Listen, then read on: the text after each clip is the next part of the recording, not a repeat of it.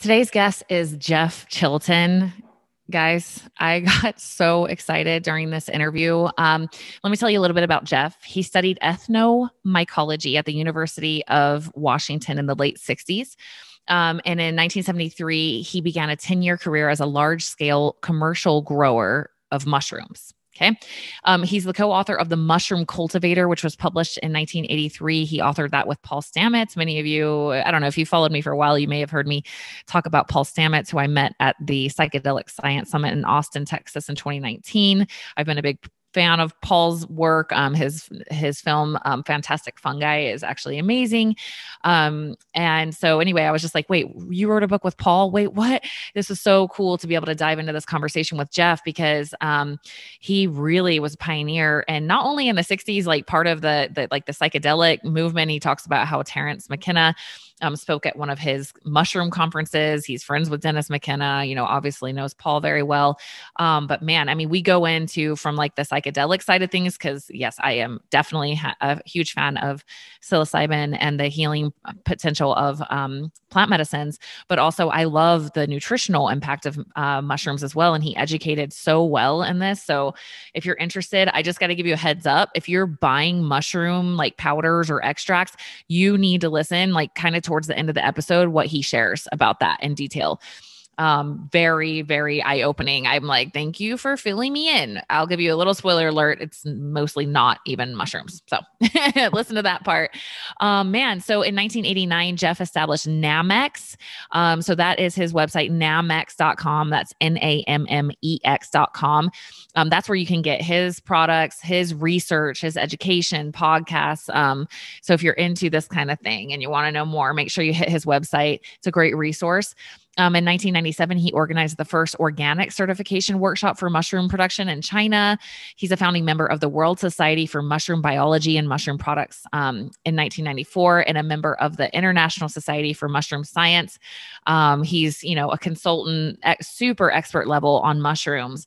So if this is something that interests you, you are going to be in for a treat. Um, let's go ahead and and get into this. Um, oh, also, I wanted to mention um, if you want to look into the products so you can go to realmushrooms.com. So we'll link all that in the show notes. And let's go ahead and get into this awesome conversation with Jeff Chilton. Okay, before we jump into the show, I've got a special announcement real quick, and it is about my higher retreats. We are finally rolling on this. This is a project that's been in the work for two years for me, and we are finally going. Our first higher retreat is going to be in April in Zion's National Park. I don't know if you've ever been to Zion, but oh man, it's in southern Utah. It is incredible. Check out my Instagram for pictures if you haven't seen. It is just like one of the most magical places in the world. People come from all over the world to see this place. Um, so we are going to be doing it there April 21st through 24th, 2022. And I wanted to let you guys know we are still in our early bird pricing right now. Um, we sold a lot of it. We filled more than half the retreat in our pre sale, but we still have one shared room left. So if you want to come with somebody and save some money, jump on that. Um, I am doing this with Be the Wellness. They are helping me put on this retreat. Be the Wellness is amazing. They are like my dream end goal of all retreats, and they've decided to help other people like me put on retreats. So it's going to be phenomenal. They're award winning retreat um, hosts, and yeah, it's it's going to be good. So you have to go to their website. It's going to be Be the Wellness. So B E E. Make sure you follow them on Instagram, by the way, also but BEE the wellness, be the wellness.com slash experiences slash higher. All of the details are there. You have pricing. Um, you can register right there on the website. All of the schedule, all of the people who are coming. We have a shaman coming to do a fire ceremony the first night. There's an amazing yoga, meditation, breathwork facilitator. Catherine Dixon, who is like, I don't know what to call her, my like spiritual guide in life. um, she is facilitates the work of Byron Katie, and she has an episode here on Inside Out Health. I would highly suggest listening to that. She is a life changer. She's going to be facilitating um, two days at the retreat. So I'm so excited to have Catherine coming. She's like my secret weapon. She's amazing. So um, yeah, all the details are on that website. Go check it out. Take advantage of the early bird pricing we have going um, for the next uh, week and a half. So that will end on, I guess maybe it's a little less than that by the time you hear this. That ends on August 8th at 8 p.m. So 888, okay? August 8th at 8 p.m. Mountain Time is when the early bird pricing ends. So if you want to get in on that, get in on that now. Um, and yeah, if this is something that's pinging, if you feel like you need a reset, connect to nature, connect with like minded people, take a look inside at what you got going on, and leave with some tools on how to control your stress response and challenge your stressful thoughts and find out what might be going on inside of you that you're just not seeing. This is going to be amazing. We have a sh- private chef coming, all gourmet paleo meals. It's going to be incredible. So, um, yeah, check that out. Be slash experiences slash higher. So I want to tell you guys about one of my favorite finds in the health industry in the last few years. It's something I use with all my clients, and that has been extremely impacting on me as well. And that's the upgraded formulas hair mineral tests, their consults, and their nanoparticle size minerals. So um, I started on this path because I was taking a high quality magnesium. And when I tested, I found out that I was extremely deficient in magnesium. And once I started using their nanoparticle size magnesium, my levels went right up. And what I experienced was incredible. I started getting more REM sleep. I was, I realized I hadn't been dreaming in years, started dreaming again, and also noticed that I didn't think I had anxiety until I got my magnesium back up and noticed that I was experiencing quite a lot of anxiety, and that went away. And I was able to enter back into a place of calm and peace. And um, it was just incredible. And so since then, I've been using it with all of my clients, and it's so easy. All you have to do, they'll mail you out a little envelope, and you just put some hair in it and mail it back into their lab. And then you do a consult with them over the phone, and they'll tell you all about your ratios, what's high and what's low, because you can't know this unless you test. There's no way to know. And you can't just crapshoot minerals. You have to make sure that your ratios are on point. So they will tell you exactly what you need more of, exactly what you need less of to get those ratios on point so you can have optimized brain health and hormones and sleep and metabolism. So um, they're also giving you 10% off for being an Inside Out Health listener. So that code is just Inside Out. So um, go to upgradedformulas.com and just enter Inside Out at checkout and you'll get 10% off their consults, um, the hair test, and any products that you may need to get your ratios right. So, um, yeah, take advantage of it, guys. It's something I use with every single one of my clients. It's been wildly impacting, and I'm happy to be able to extend that discount on to you guys too as a thank you for listening to the podcast. All right, Jeff. I literally, from our conversation before we started, I'm like, how much time do we have? I don't know if I have enough time to ask you all of the questions. I am so beyond excited, you guys, for this interview. Um, wow. So let's let's start. Can you give them some history of how you got into studying mushrooms back in the 60s? well, you know, I, I, was raised in the Pacific Northwest. I was uh, raised in Seattle and and what are we known for? Rain. Right?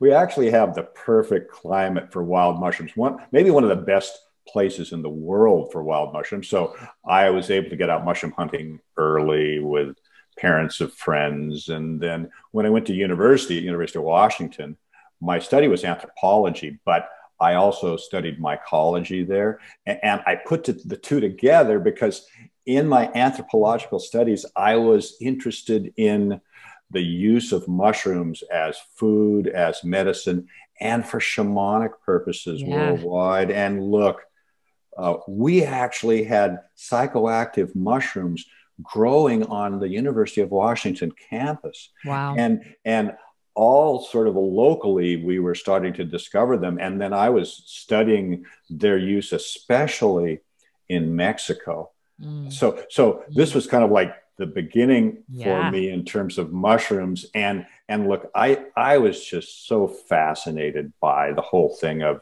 of um, magic mushrooms 100%. oh my goodness and and the 60s and we're doing a lot of experimentation so we're yeah. eating mushrooms and lsd and a number of those types of things and and you know it's a counterculture we're really expanding out from what was at that point a very narrow um, infoscape let's just call it totally. so so then when i when I um, uh, graduated from university, it's like, well, what do you do with a degree in anthropology?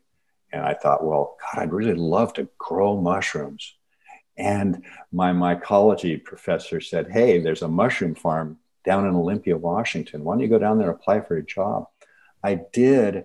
And I ended up there for 10 years living with mushrooms. It was a very, very big agaricus farm, but here's what was really awesome about it was that we had a Japanese scientist there that was growing shiitake, oyster mushroom, and enokitake. So I even got to see these other mushrooms grown, and that really started out my whole career in in mushrooms. Wow. Yeah. I think anybody, you know, and we've had other guests talking about psilocybin and other plant medicines, and I'm very open about this. My, I think my audience knows by now that it is a huge part of my life. It's a, in my opinion, one of the greatest healing gifts um, and connection to the divine and source energy. And I don't think you can have those sacred experiences without honoring and kind of adoring the gift that these little, little expressions of, you know, I, I, I tell people it's kind of weird, but like I look at like people say that we are all one we are you know expression of the divine and i see that as mushrooms when you look at the mycelium network that's underneath the ground they're just these little expressions these little gifts and they give us so much oh, not yeah. only the psychedelic you know like in life changing experience but also there's all these health benefits to all the other ones yes. so i would love if we could go into a little bit of you know where your research has taken you on the health benefits of all these other mushrooms. You know, do you have well, any favorites or any insights for us? Well, well, you, you know, um, when I was at the mushroom farm for those 10 years, I was just reading so much more because in, in, in university, my study was really based around uh, shamanic use. And so hmm. I was writing paper papers on religion because all of a sudden I was questioning religion. And I was yeah. like, well, well, religion really, what's the source? Why do people even have this idea? And I was like, oh, well, gee, back in the day, people had visions, they had experiences. Religion yeah. sort of came up due to that. And so that's where I ended up finding the whole thing of, of I mean, can you believe it? There's a man named Gordon Wasson um, who was studying mushrooms worldwide, and he uh, found out that in the mountains of Mexico, in the 50s, he went there and they were still using psilocybe mushrooms in their healing ceremonies. Wow.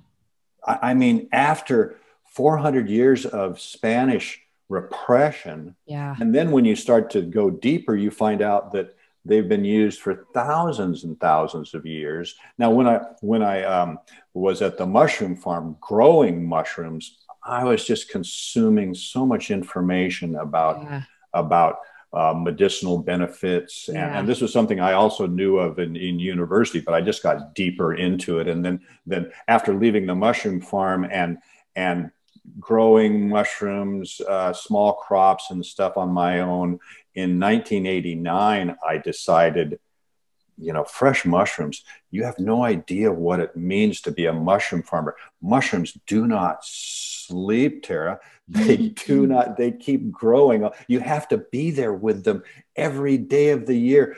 Every mushroom you've ever eaten has been harvested by hand. I mean, so so you have to have harvesters there on Christmas, on New Year's, every day of the year on a large farm. It is just like, and I just went, huh, there are these medicinal benefits of mushrooms that I've been reading about. They've been used in traditional Chinese medicine for thousands of years wouldn't it be easier to have something that is a dry product and I could sell that as a business out there? So I went from yeah. being producing edible mushrooms fresh to going, okay, I'm going to get into producing medicinal mushrooms. Now it's something where I can I can sell them. They're a dried powder. They could sit on the yeah. shelf. I don't have to worry about harvesting them, babysitting them. yeah. So so this was a real major turning point for me. And, and mm. I, I really started uh, a lot of my research by in 1989. I went to China to the international conference. Um, uh, it was International Society for Medicinal Mushrooms had a, a, a conference there. And, that just totally opened my eyes because mm. in China, they have dozens of research institutes. They have lots and lots of mushroom growers. Hmm. And that's where mushroom growing started in the 12th century. They wow. started growing shiitake mushrooms. Wow. They actually have a temple back up in the mountains in this, what they call the mushroom county of China, a temple. Wow. And the, the statue on the large altar in this temple is the man who learned how to grow shiitake mushrooms. Wow. And he's sitting up there, and in one hand, he's got a shiitake mushroom. It's wow. just amazing. And it's just kind of a, a, a, interesting, small little temple, but there it is in this county.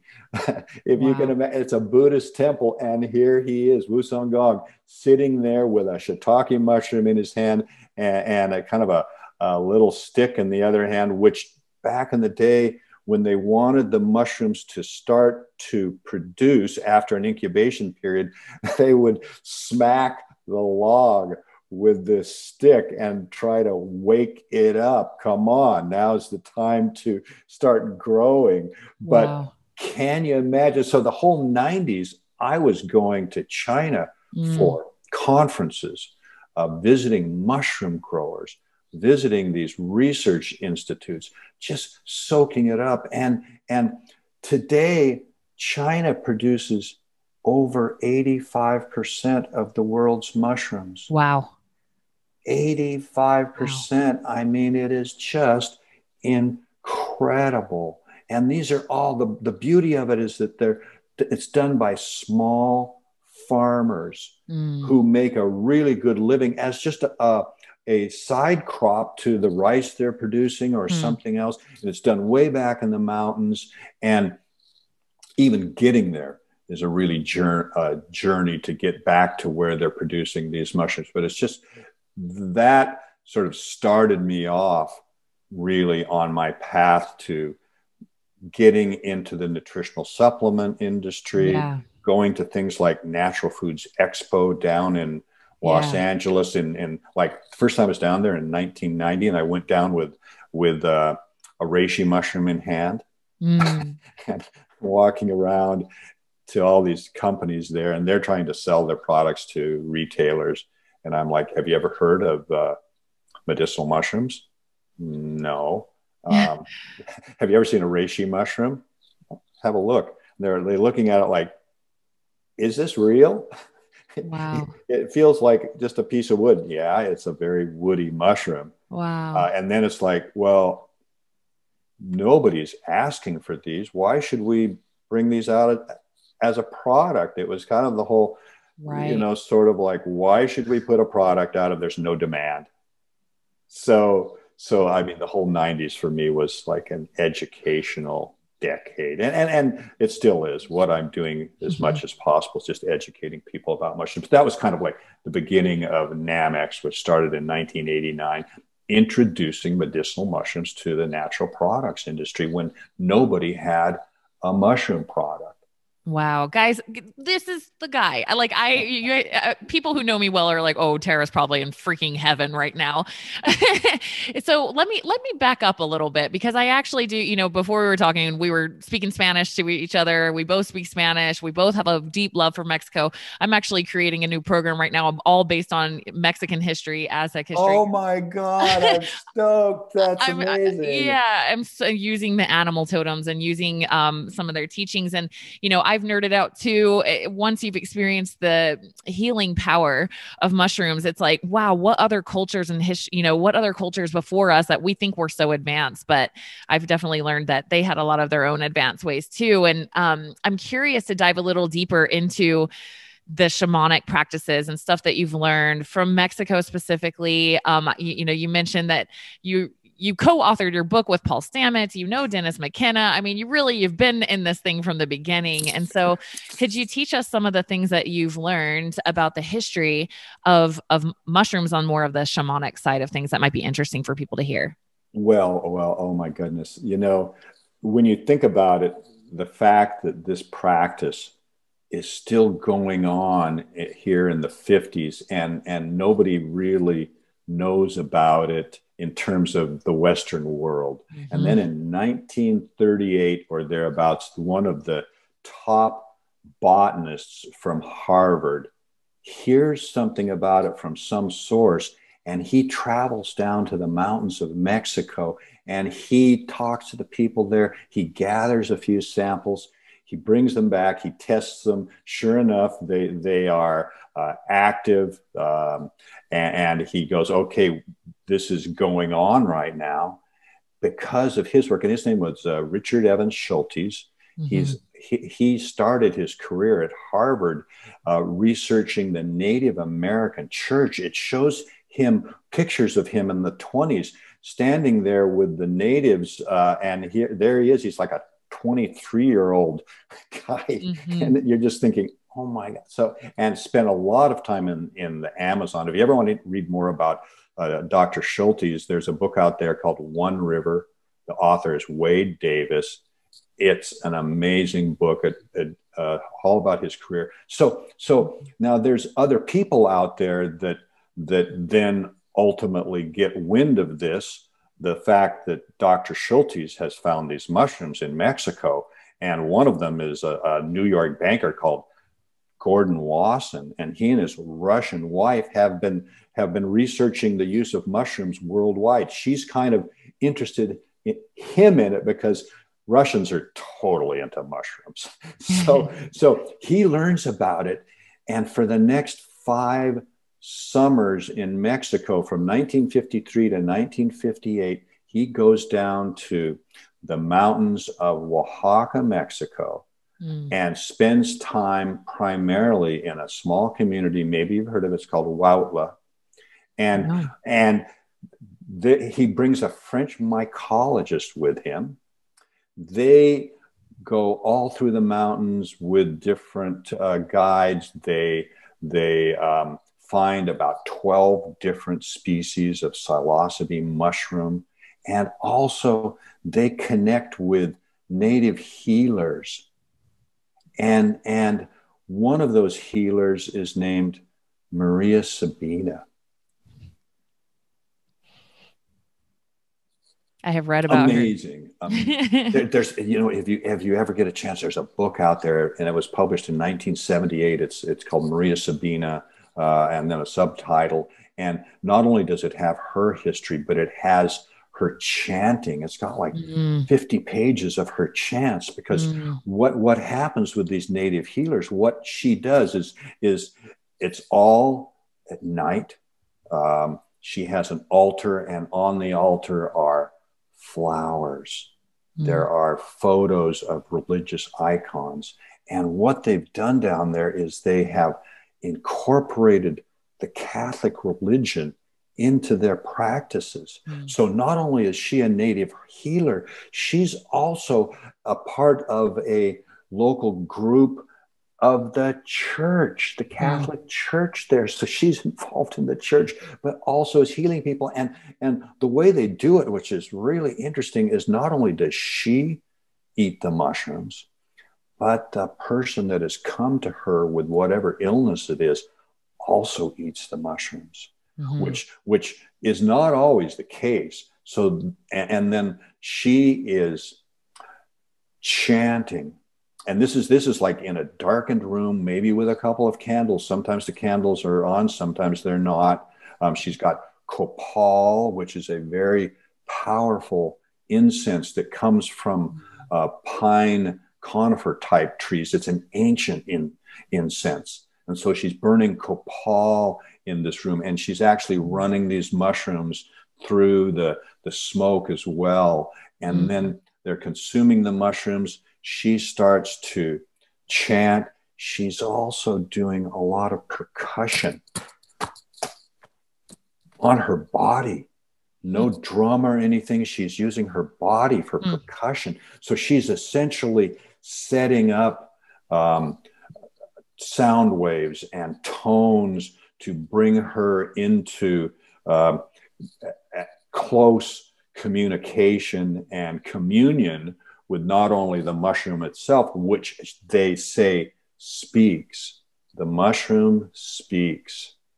Mm-hmm. and and and and she's she's trying to discern what it is that's going on with this person there that has this illness. Now that person has explained to her what's happening and all of this. So, so this this is the way they're doing their healing ceremony, and it goes on right through the night. And and psilocybin generally has about a five hour really strong uh, um, time on it. So so sometimes she will uh, have a, something positive to say about how we can heal this person because it's not necessarily just the mushroom that is is doing any healing for this person. It's it's a way to to diagnose.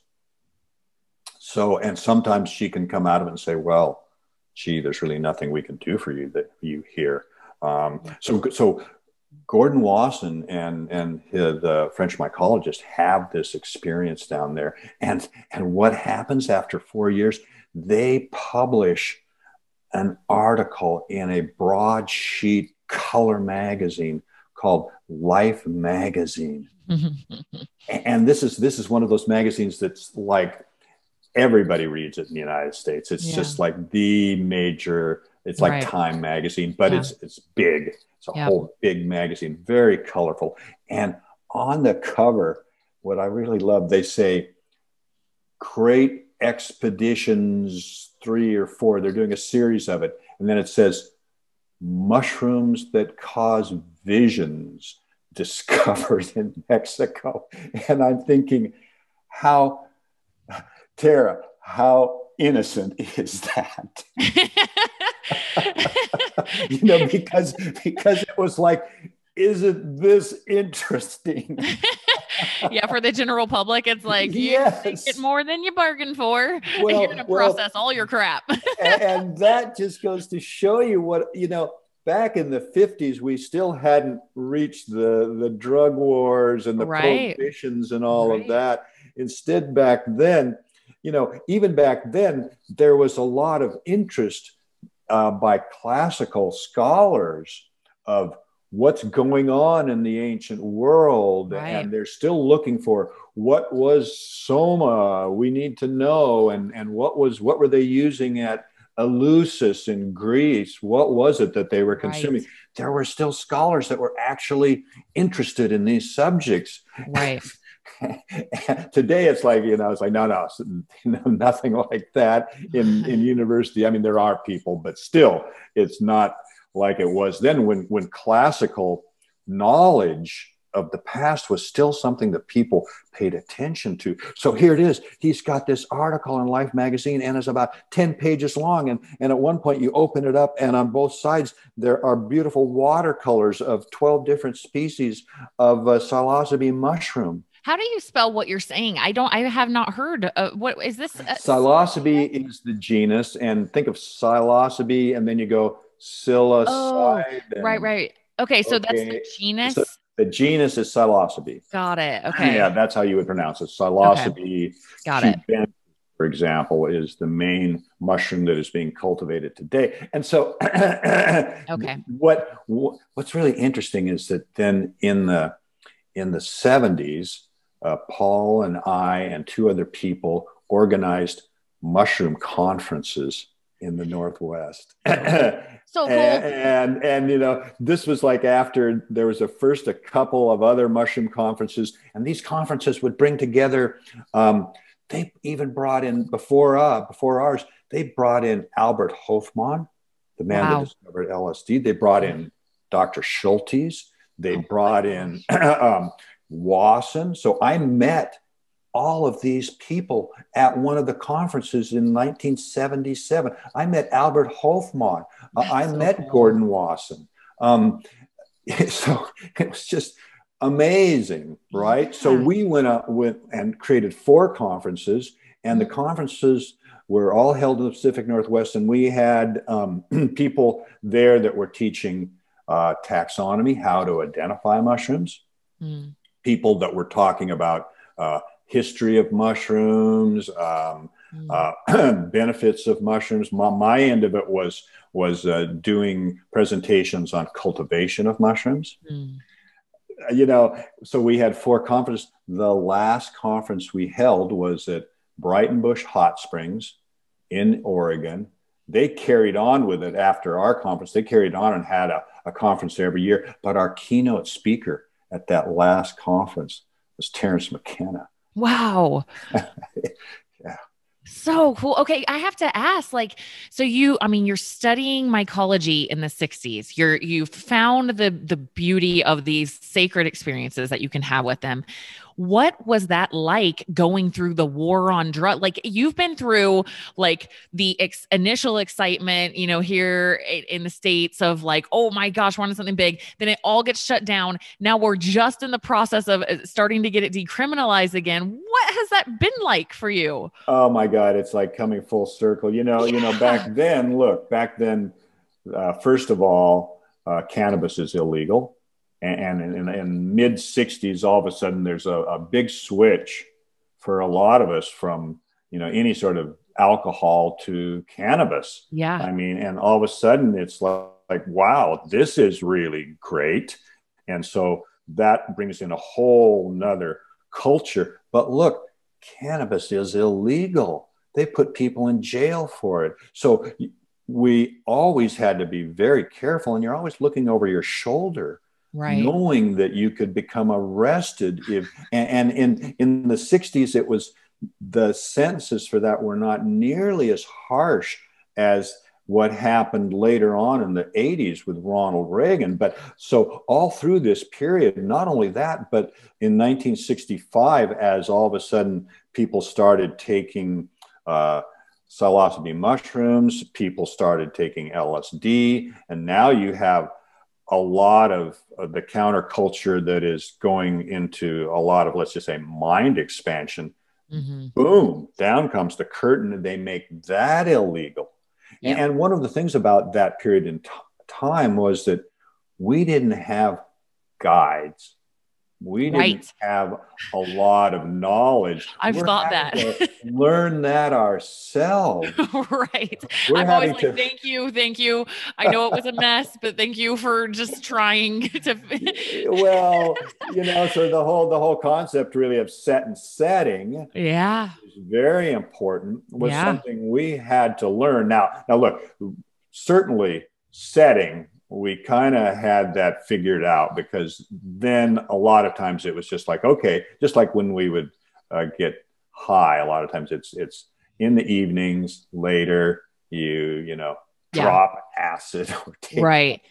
or smoke and you're listening to music which was you know look the music that came out of the 60s was just unbelievably wonderful. So we're listening to music we're just you know kicking back in rooms that are are really very colorful and comfortable and so mm-hmm. a lot of those experiences were done in in the right way but mm-hmm. again um, okay what happens when somebody's having a little bit of a uh, issue and and yeah. they're they're a little bit disoriented well you know back then they had what they called crisis centers where mm-hmm. you could actually bring somebody and and what did they do they talked them down because it was really just a matter of okay look you're not really dying you're right. actually just just don't worry this will wear off calm yeah. down that's all good so there was there were were um, certainly ways that this could be managed to some degree but it didn't help that it was all illegal and, right. and so we had prohibition starting then. And and look, during the 70s, believe it or not, it was actually starting to uh, loosen up a little bit. Even Seattle decriminalized uh, cannabis for a period of time until Ronald Reagan came in and mm. just, you know, it was just saying no. And right. now, now we're in a situation where they're increasing penalties. They're arresting a lot of people. And then then when you got into the 90s um, with even the clinton administration they passed these laws that are horrible in terms of incarcerating people. And so even today i believe i think it's 50% of the people in federal prisons are uh, drug offenders. Wow. Can you imagine people that are involved? I mean look, I, I have a number of friends that spent time in prison for growing cannabis, for growing mushrooms, plants, plants that plants, grow in the ground exactly, and exactly, and, and telling us, no, no, no, you you cannot use this plant. Yeah, yeah, that's growing really? in nature, available to everyone. And I, I, have to add real quick, if you guys aren't familiar with set and setting, set would be like your mindset, and setting would be your environment, and it's so important, so so crucial um, for a successful uh, uh, journey. And I love what you're saying about like the illegal aspect because I've had many, many, many journeys and have you know had journeys with many first timers.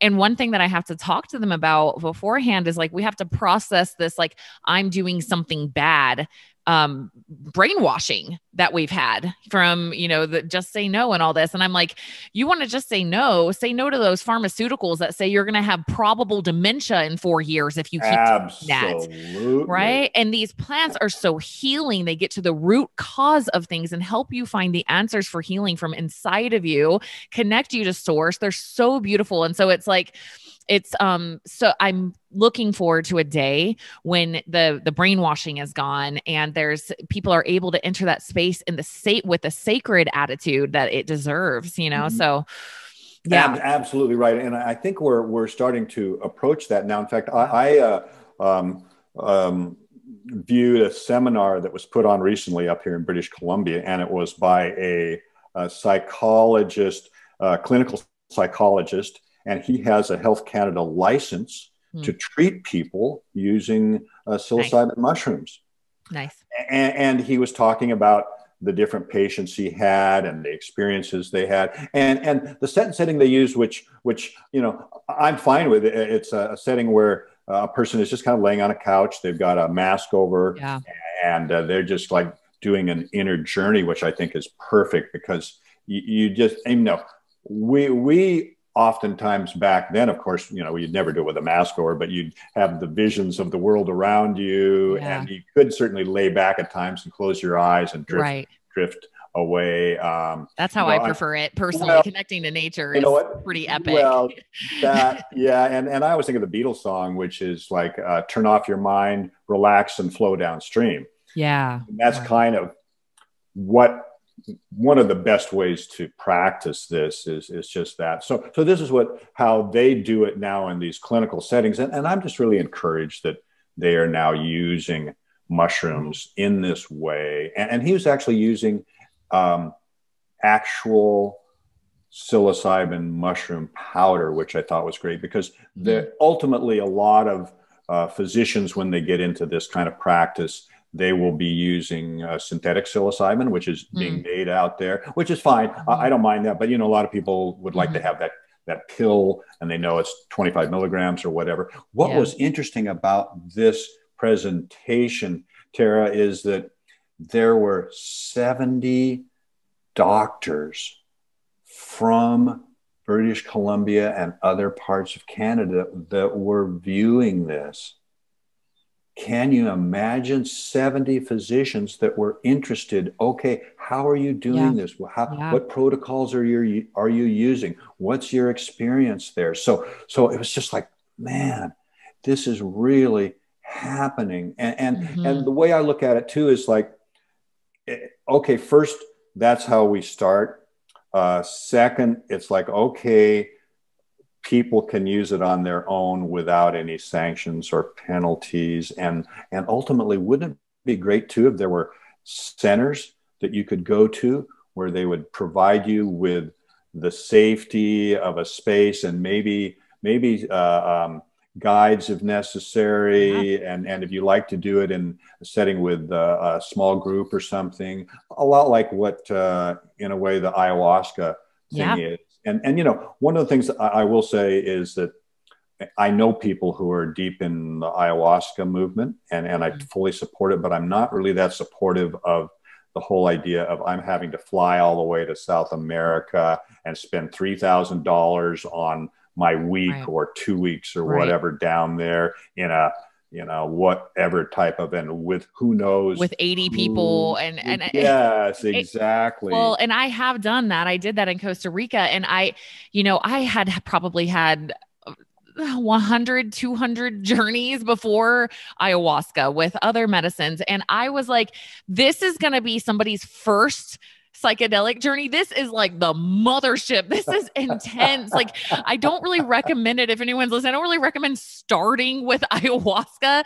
That would be like, I'm going to start meditating and trying to meditate for five hours. You know, it's just like, whoa, you might want to start like a little bit. And that's why I love mushrooms because I think they're such a beautiful introduction to plant medicines. It's definitely going to take you out of your normal, but it's not like, you know, I've had friends, they were like, felt like they were getting pulled by vines and snakes under the ground and dying on ayahuasca. I mean, that's like kind of intense, you know? so, um, anyway, I, and I love what you're saying. I, I, fully would want to eventually someday be able to hold space like that with mushrooms and connect people to nature. And that's part of the reason I'm, you know, we we talked about how we we both donate to MAPS, and I went to MAPS's conference in um, Austin, as I was telling you in 2019. And I, I tell people all the time, I'm like, this was called the Psychedelic Science Summit. So who do you think was there? You think it was a bunch of like losers and hippies or what? Nope. It was um almost completely, almost exclusively doctors, therapists, neurologists, neuroscientists, health coaches, high level crowd. And Absolutely. they're all saying, How can we help? How can we do this intelligently? What's the latest? We all are so grateful to Rick Doblin for what he's been doing. You know, he's been fighting for this for so long. And we finally got FDA granted breakthrough therapy designation for psilocybin. So now they're doing that research at Johns Hopkins and and there's more coming. So I I'm just like seriously, I with you i'm like ah like you you were there from the beginning and you're getting to see this all roll out and it's happening so rapidly right now. You know i think uh i'm sure you're more on it than i am. I know oregon decriminalized and uh, something just happened in california went on the ballot for legalization i believe not just decriminalization of psilocybin. And then I think it was Maine or one of those states over there has got it decriminalized and it's rolling now. So it is rolling. And, look, my my good friend Dennis McKenna has what he's called the McKenna Academy. Mm. And the McKenna Academy is all about creating these places and spaces where you can go and they've got mm. libraries and people and you can have uh, experiences there, and wow. he he envisions those in different parts of the world. And I'm really Very encouraging cool. him to put something like that in British Columbia. And you know, what's really interesting to me when you talk about coming full circle is you know my business is right now the actual business itself is in functional mushrooms medicinal mushrooms and and right. we're um, that's our focus because you know obviously you know that's not legal to be selling psilocybe mushrooms or anything like that but we've right. had probably i don't know eight or ten different companies come to us and they want to talk to me because they're they're creating companies yep. preparing for psilocybin yep. to be legal. And uh, you know and, and look in in british columbia a, lo- a lot of these companies are in british columbia because in in canada now you can actually get a, license to either produce uh, on a certain level or you get a license if you want to use it in a practice. So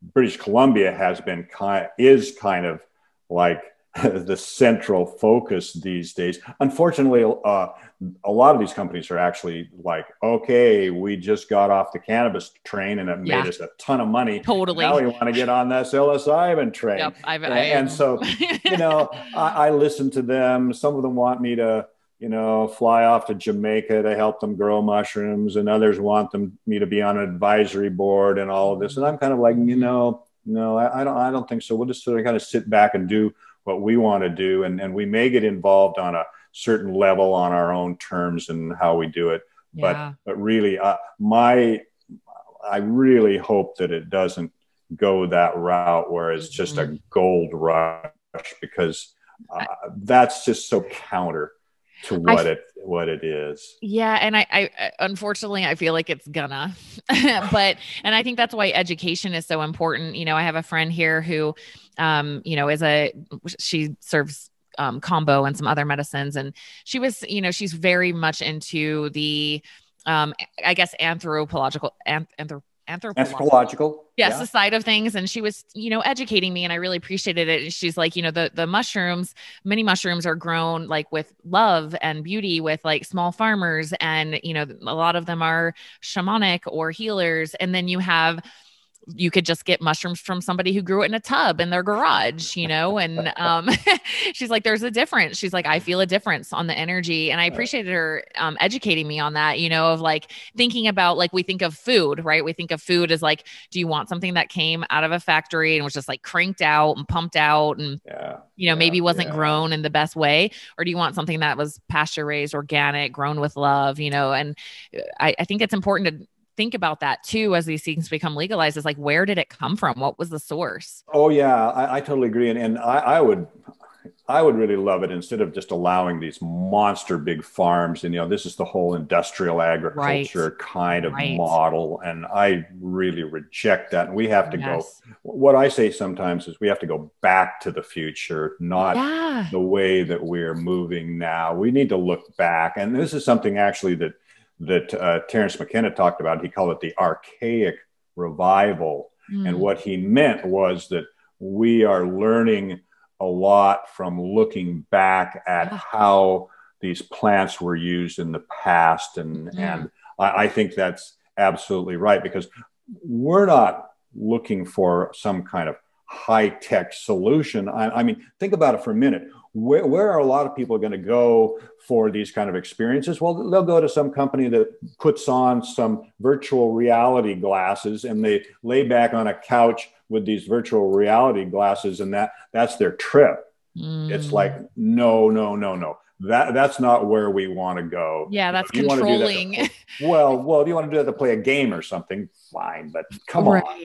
Right. Yeah. And, um, you know, I'm, I'm very big into the regenerative agriculture movement. Oh, good for you. Yeah. Yeah. You know, I've got an event at a ranch coming up at the end of this month with a, a rancher that I work with and, and love. And, you know, I, I think of this also with, with mushrooms. It's like, let's not dishonor the gift that Mother Earth has given us by ruining Mother Earth with it, you know? So, no, absolutely right. I mean, just like regenerative agriculture, I mean, are you familiar at all with like permaculture? I mean, that's kind of where a lot of it has come from, right? And I remember back yeah. in the 80s when I had friends that were deeply involved in permaculture mm-hmm. back then when it was just kind of getting started and and they brought a guy from Australia named Bill Mollison who was like one of the major figures in permaculture who helped to develop it all and he came to I mean geez Washington state at that time was just a hotbed of mushrooms and mm-hmm. permaculture mm-hmm. and everything. There were there were so many people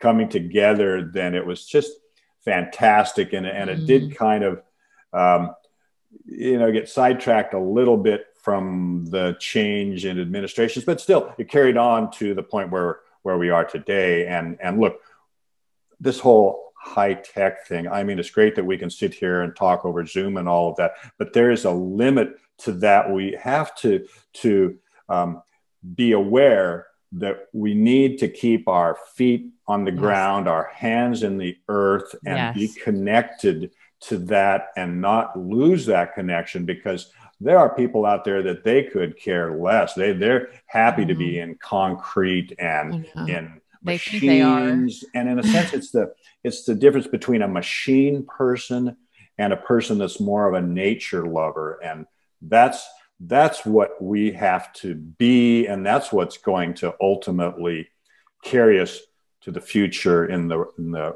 the right way, rather than all of these machines. And oh yeah, technology is going to save us on and on and on. It's like no, it's not. Not no. at all. We just yeah. have to stop consuming. We have yeah. to live a simpler life. we have to get yeah. go back to the future here and the the easiest way actually I'm so I'm starting retreats next year and the reason I'm starting them is because I was out in the desert on psilocybin and I was instructed stop telling people about this and provide experiences for them to come out in nature and experience this connection themselves. Because once you re tap into what matters all of these it, it, just it aligns you. You start to become more interested in helping mother earth. You start to get your senses about you. We get so disconnected from it in our little boxes i say we made really really awesome shelters. They're so good. They have wi-fi and they're climate controlled and they have refrigerated food and coffee makers and like washing machines. Like we made some really dope shelters, but they, we yeah. made them so good that we're missing half the show. We're missing oh. who we oh. are. Oh. We're missing that connection. And I'm like, when was the last time you got outside at night and saw the night sky? You don't have to wait for camping to do that. Go exactly. Exactly. However, I will say this if you're an urbanite, forget it. Right? I know too much I mean, light that, pollution. And that's part of the problem is that there's too many people that are that are in the urban centers and nobody is is going hey did you know it's a full moon tonight let's just go out there and we'll just watch the full moon and sit there and watch the stars and all that this is something that when i was traveling in mexico back in the early 70s it was like every full moon it was like a major event and right. we were all going to get together as the moon right. came up it was right. just like no this was something we followed i still follow that and and am waiting for that full moon to come and i've got a, a, a home where i live here where I've got a perfect view of the east, so I get to mm. watch the sun come rise. up and watch the moon come up. Yeah, I know. I'm like, I, I just, I was just in Joshua Tree with a couple of my friends, and we were out at Giant Rock. I don't know if you've ever been there, but it is no. special. I guess they say shamans used to talk to um, extraterrestrials there, like anciently, right? So it's, yeah, it's, it's the yeah. biggest freestanding boulder in the world. Really powerful energy. We went out there at night because I had gone by myself, and I was like, guys, we got to go after dinner. I don't care. Like, I, am not giving you a choice. Like, we're you you can't we can't leave without you seeing Giant Rock. And we sat out there and watched the the moon rise. You know, and I I see that I live in Utah, and um, I'm outside a lot, and even in the evening, and I I you know my friends had never witnessed that. They were like, wait, it's like rising like the sun. It's like I'm like, yeah, you know, and we miss that. We miss that magic. And when we when we don't connect to it, we get so off base. We get so caught up in our own stuff, you know. It's like whoa, like we cannot sustain the planet the way it's going right now. I'm not no. like some, I'm like, I'm not trying to be some tree hugger, like eh, activist. I'm, it's just reality, actually. It's just reality. And we like to pretend and just think, no, no, no, I'll just still be able to go to the grocery store and get all this food from these monocrops that are making me sick. And I'll just keep doing that forever. It's like, no, actually, wake the F up. Our kids yes. and their kids are not going to have that if we don't change something. So, anyway, I'm getting on my soapbox. Well, well, no, no, that, that's fine. You know, you know, know, it's like it's like look, one of the things that that has really bothered me during this whole COVID thing is like, why is nobody talking about natural immunity? Why is nobody talking about prevention? Why are there not people on the street corners handing out vitamin D to everybody? Exactly. You know, it is just like Uh, why aren't we talking about what's in the middle aisles in that grocery store that people are eating and now they are very unhealthy because of what they're eating? Why aren't we talking about that? Because that is a huge factor in what's going on. And that, you know, my business is based around providing mushroom products to people that will help potentiate their immune system. Yeah, because they're one of the well, that's what my business is based on. And I've been mm. in the natural products industry for 30 years and lived a, a, life kind of based on that before that. And now all of a sudden it's like, no, no, you've got to believe in uh, big pharma and you've got to go get your shot. And then afterwards, we're going to no. give you a booster and, and, uh, thank, and everybody's going to be like, thank you, Bill Gates. And I know. I'm I know. sorry. I'm sorry. I'm with you hundred percent. I mean, um, you know, and I tell people all the time, I'm like, mushrooms are one of the only ways you can get vitamin D from a food source. Your whole immune system is dependent on vitamin D. I actually got COVID. I was barely sick for two days. I hyperdosed vitamin D. I was taking 150,000 IU of vitamin D for three days. It was nothing. I did. I lost my taste for two days. It came right back. You know. Well, and, well, what a wonderful story that is. Absolutely. Yeah. And and vitamin D is one of those things. And look, let me just let me just say something here really quickly. Mushrooms do not contain a lot of vitamin D. But don't they help you potentiate vitamin well, D? Well, no, no, just a second. Let me just explain yeah, what's me. going on here because what, what, the reason the reason people think mushrooms have a lot of vitamin D, it's like mushrooms have a compound in them called ergosterol. Okay. And ergosterol is the fungal sterol just like cholesterol for us. So the way that we produce vitamin D, and we produce vitamin D, is we have this cholesterol, the sun, the UV rays yeah. uh, on our skin. That turns the cholesterol into a pre-vitamin D3, and that's where we get our vitamin D. Uh-huh. With mushrooms, you have to expose them to UV light, uh-huh. and then that ergosterol turns into a vitamin D D2. So, okay. so, and, and we actually have a vitamin D product based on mushroom powder that we sell.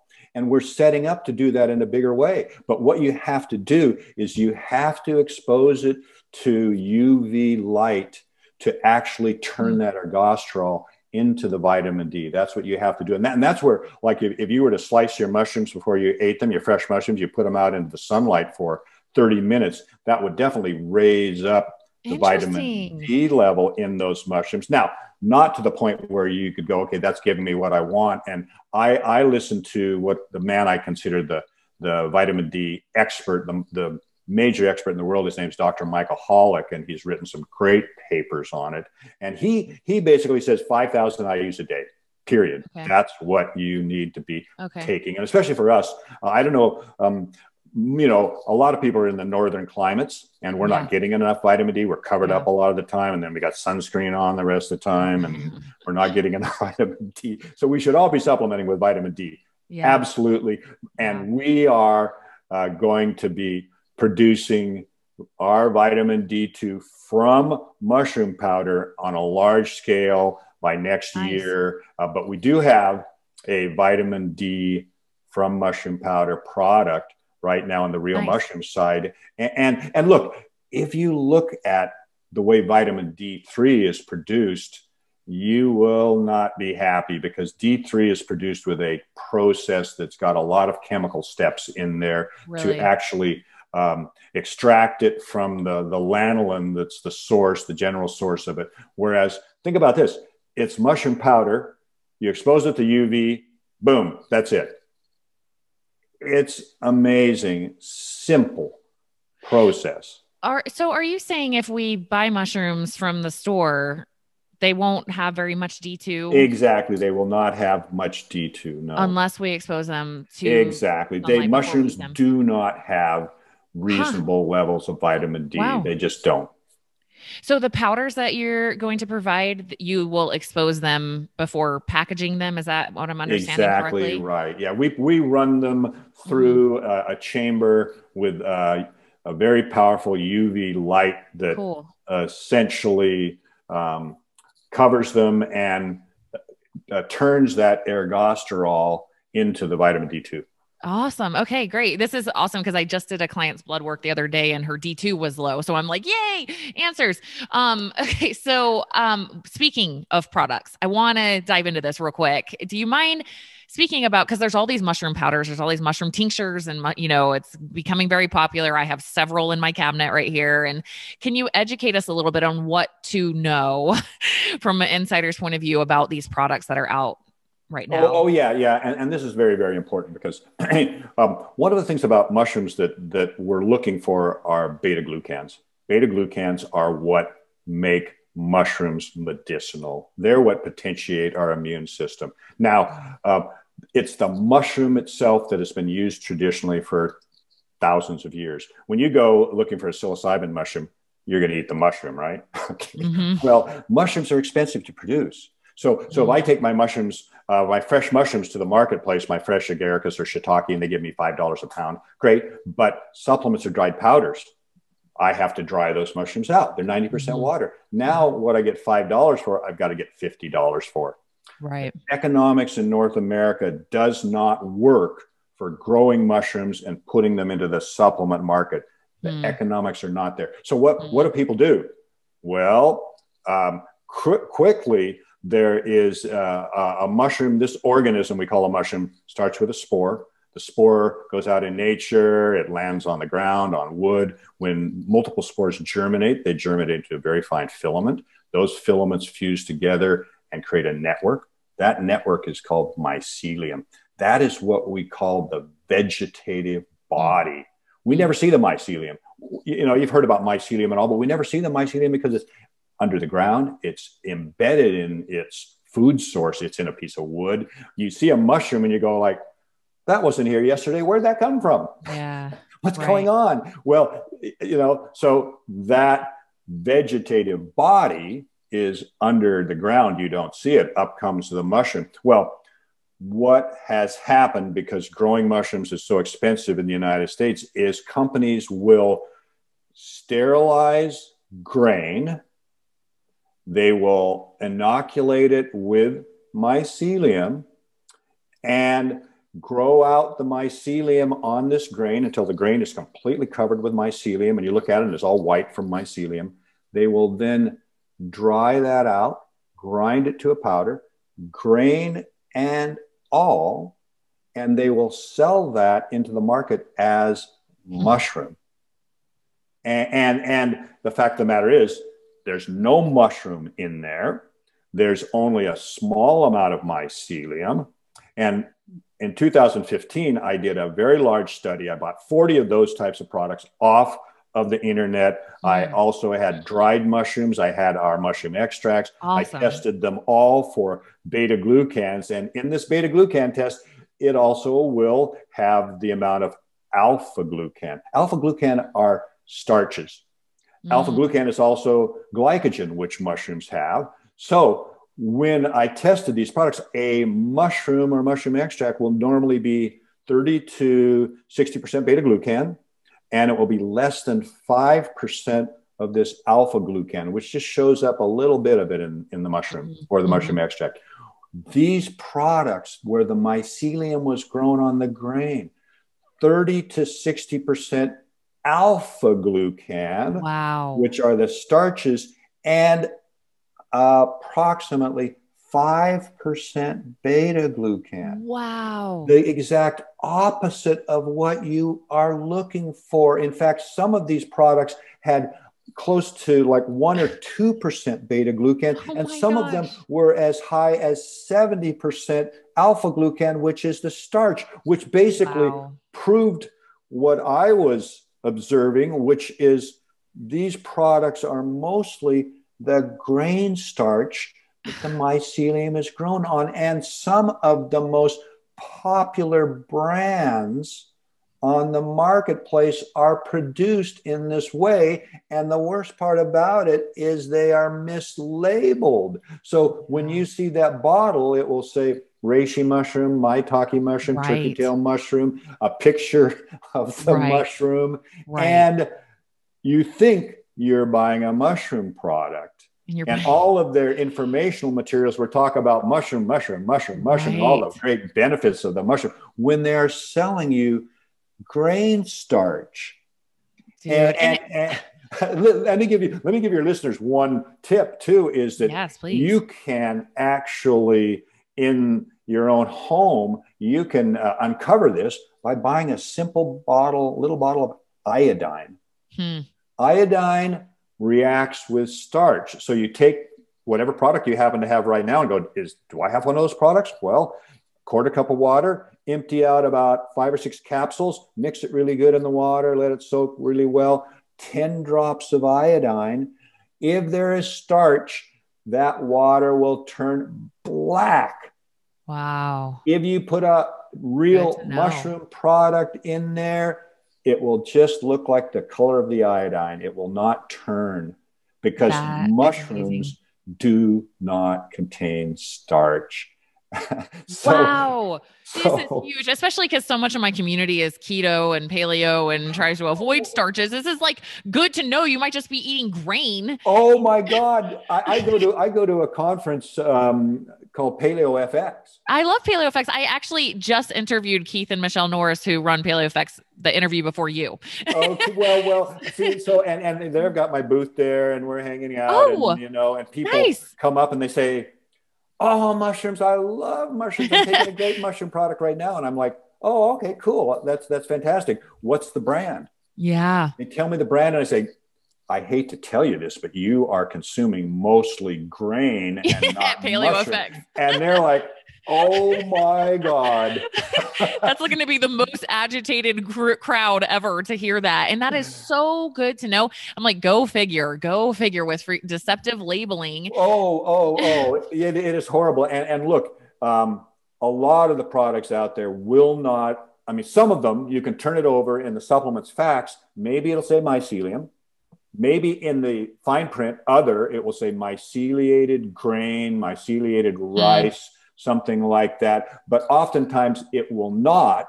It will just be talking about mushroom, mushroom, mushroom. If this is the mushroom, when it's mm. not mushroom at all. It's very, very deceiving. Guys, I got to say, if you want Jeff's products, his website is N A M M E X, nammex.com. He has mushroom extracts on there. You have a lot of education, research. I'm, I'm assuming that article, I mean, that study that you just said is on your research se- section of your website. I'm going to yes. pull it up and link it below too, because I know my people are going to be like, I want to read that. I want to see. Um, and also, I just wanted to hit on your book real quick too. Um, could you share a little bit about who might be interested? Interested in this book that you co-authored with Paul? The Mushroom Cultivator? Yeah. Well, well, you know what? The interesting story about that is is all during the 70s, um, most people were out looking for wild psilocybin yeah. mushrooms. Yeah. Right? And then and then in the mid 70s, a couple of books were produced, small little books that talked about how to grow psilocybin mushrooms in jars. And and and in I, jars. I was, yeah, like in mason jars. Yeah. Okay and and a very simple process and a lot of people were doing it in their closets and stuff like uh-huh. that but nobody was actually none of the people doing this had any real cultivation experience and so you know when i met paul he was doing the same thing growing them in jars and he was you know a student there and so we got together and he'd already written a book at that point in time psilocybin mm-hmm. mushrooms and their allies mm-hmm. and we uh, collaborated and basically brought um, with my experience at the mushroom farm, commercial experience, nice. brought actual techniques to growing mushroom that were based on hundreds of years of cultivation so awesome. experience by you know actual commercial cultivators and so so when that was published it literally revolutionized the growing of of mushrooms and especially in the psychoactive community and and all yeah. of a sudden you know th- this is the funny thing tara is that all of a sudden there were fewer and fewer and fewer people out in the fields looking for wild mushrooms and everybody's was now starting to cultivate and my god right now in terms of worldwide cultivation of for example psilocybe cubensis i mean there's hundreds of thousands of, of uh, kilos and probably hundreds and hundreds of tons of these mushrooms are being produced worldwide and yeah. a lot of that really kind of started with that book, The Mushroom Cultivator, so in 1983. Amazing. Yeah, 1983, you guys. Uh, man, I I literally I feel like I just like struck the podcast interview lottery today. Like this topic is so deep to my heart. I'm like obsessed. I'm like every single thing that you have put out, I'm going to be rabbit holing on. So thank you so much for oh, you're welcome. sharing Absolutely. with us today. I know so many of my audience are going to be like, oh my gosh. So, um, do you ever do you are you do you have any speaking events or events that you're going to be at that people might be able to find you at? Well, you know, I don't do a whole lot of that. The fact of the matter okay. is, is that these days what's happening is that is that I've got my sons working for me in the business, and I'm slowly pulling out of the business because yeah. you know what my passion is, uh, Tara, is um, fly fishing for trout in rivers. Amazing. so, and you deserve it. You've been working hard. and, and, and in the wintertime, I fly to Argentina mm. and, and I spend my winters in Argentina which is is why you know my Spanish is kept up to speed. Yeah. And, yeah. and uh, so so for me, pretty much, um, I'm here. I will podcast. I will deal with bigger companies that come in to looking for our products. I'll be yeah. talking to them, and we have. I mean, you cannot imagine the the uh, companies that we sell to these days. I mean, I mean, uh, some of them I can't mention, but one of them that we sell to, believe it or not, and, and you know whether you like it this company or not, because they're you know it's um, yeah. on certain levels. It's like okay, it's a multinational. Nestle. Wow. I, wow. I mean, that's just the level of you know we deal with some of the biggest companies in the world right now. They are actually looking down and they're looking at let's just say the the the beverage part of a store and they're going, wow, look at all these interesting beverages and they've got herbs, they got mushrooms. We want to get on board. Yeah. Yeah. So, that well, that's so. great news. You know, I remember when I saw um, I love Mark Sisson's Primal Kitchen products because they're yes. avocado oil based and high quality. And I remember I I hate Walmart. I hate it. My kids oh, know oh, if if too. I if I somehow am in a situation where I get forced to go in Walmart, they're like, oh, mom's gonna be mad. You know, it just like sucks the soul out of me. I'm like, oh, I don't want to give them a penny. It's like everything. I've been there once in my life. That's that's it but I was I, I I was out of town. I was walking through, and I I was like, it's okay, I can breathe, you know. but I look over in the salad dressing aisle, and it catches my eye, and I see Primal Kitchen Ranch on the aisle, and it was like it made me so happy, you know. I was like, hey, you know what? If we can get get that into Walmart, like it's at least it's a it's a step to reach more people with high quality things. So you know, sometimes I think when people have massive distribution, it's like let's try to get as many of the good things as we can yeah, in those stores. Uh, yeah. Either yeah, that no, or I obliterate totally them. I totally understand. Yes. I mean, I go into Walmart or something, I'm just disoriented. I'm like, let me out of here. it's like a nightmare. It's like you guys, people think a psychedelic trip is like scary. It's like walking yeah, Walmart. No, yeah, that's right. A Walmart is really scary.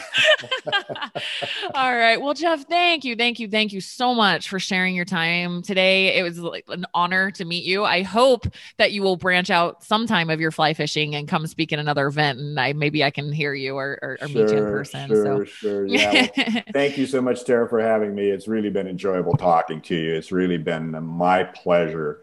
Thank you. And, Thank you. And guys, we'll link everything in the show notes. We'll have his website. That's nammex.com. Um, the link to his book, products, research, all that. So just watch for that. And again, Jeff, thank you so much. Thank you, Tara.